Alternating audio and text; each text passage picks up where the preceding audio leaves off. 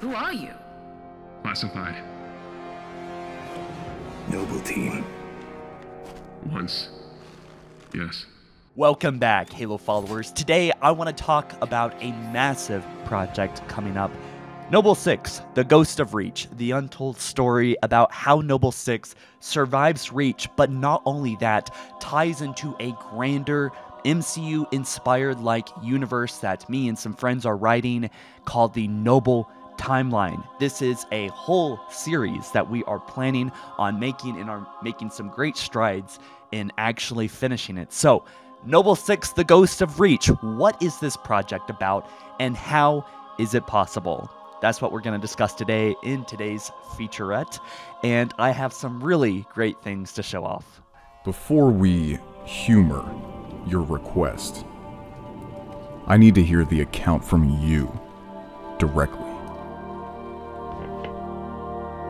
Tell me, what transpired on Reach? It's funny, a lot of people assume that the reason why these animations take so long is because of the animation. But most of the time is because we want to write and get the story and characters right. I mean, how do we honor Noble Six in his sacrifice? How do we honor Noble Team? And how we have excessive time to work on the script, not just write it in two, three weeks, but to spend months and months polishing it is because we have extra time. Because Xsens motion capture allows us to record ourselves with very little cleanup, finishing scenes in a matter of days. She's with a team of Oni Spartan agents. On Sanghelios. Then that's where we're going.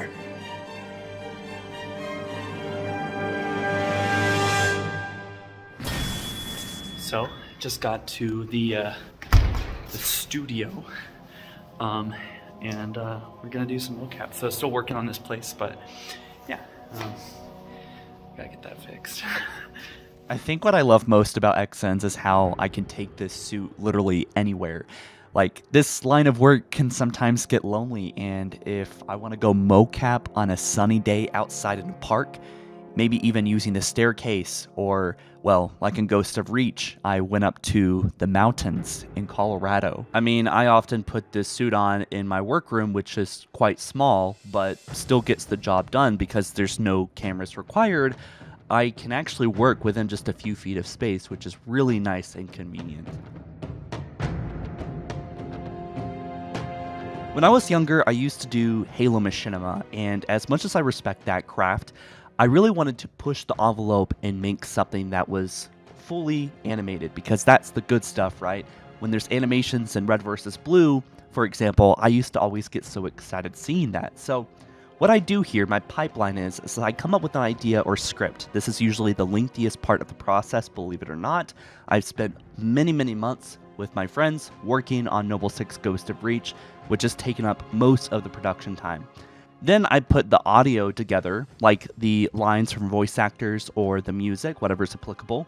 And then I act out the scene in my motion capture suit. I usually do a few takes. I grab that live data, which is usually pretty solid already, not perfect, but it's magnetic proof, which is really big. And then I run that data through a reprocessor within Xsens, and that turns this data into extremely clean movement. I mean, it's kind of unreal, right? So I grab that really nice data, I go into Blender, retarget that data onto my Noble 6 rig or whichever character, and then I simply import that into Source Filmmaker. And we have completely animated characters moving around. And then from there, just camera, lights, all the works, setting up the shots, and we have scenes, usually dialogue scenes, that can be knocked out within just a few days, which is really fun and really easy. And it comes out looking pretty solid. Noble 6, The Ghost of Reach, is a rather grand, ambitious project, and we're on our way to wrapping it up. However, it's going to take a little bit more time. If you like to support this project, be sure to check out my Patreon or become a member here on Halo Follower.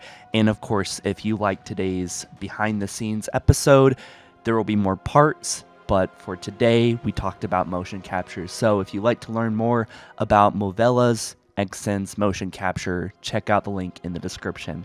And thank you guys so much for the support, and I'll catch you in the next one soon. Peace.